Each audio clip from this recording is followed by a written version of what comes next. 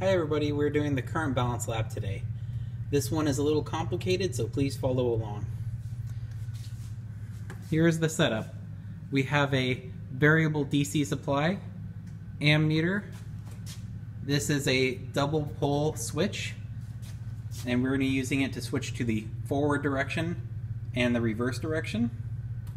We have a very large rheostat or variable resistor that can dissipate a lot of heat this gets very hot during the experiment. And over here is the current balance itself. The current balance is a stationary wire, as seen below, and a moving wire. The moving wire is on a pen, uh, pivot, and we are determining that uh, the movement by a laser. So the laser gets shined here,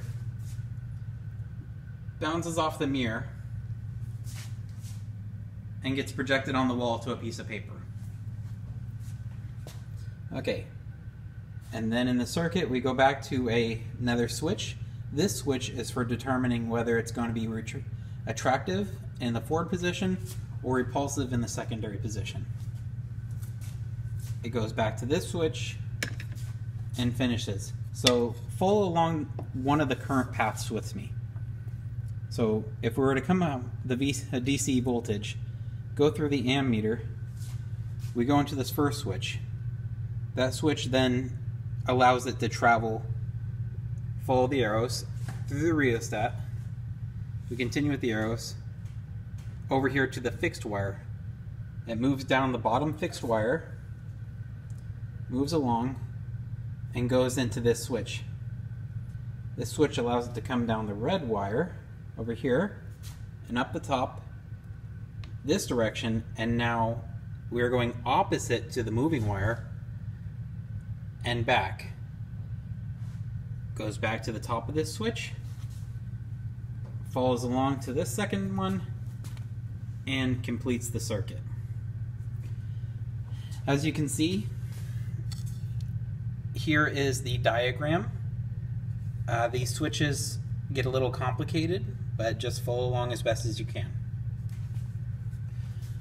So for the measurement tools we're using today, we're using a small meter stick, a Starrett with the 0.02 millimeter uncertainty. This is a cali calibrated gauge block set. So these blocks are not measured, they are known to three decimal places. This right here is the 0.125, this one down here is the 0.250. Those are going to be used. And make sure to renote, these are in inches, even though these are in meters.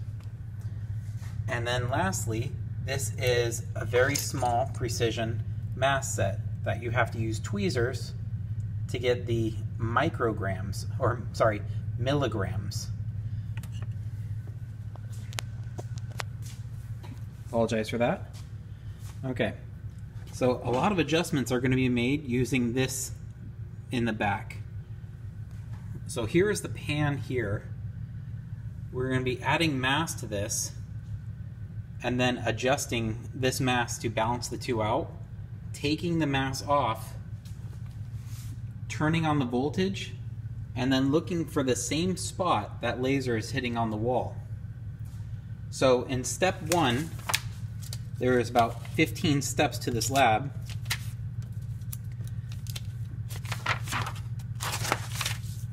You're going to be using the 8 inch, eighth inch spacer.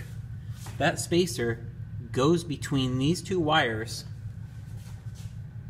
This dial gets adjusted in the back to maintain that space.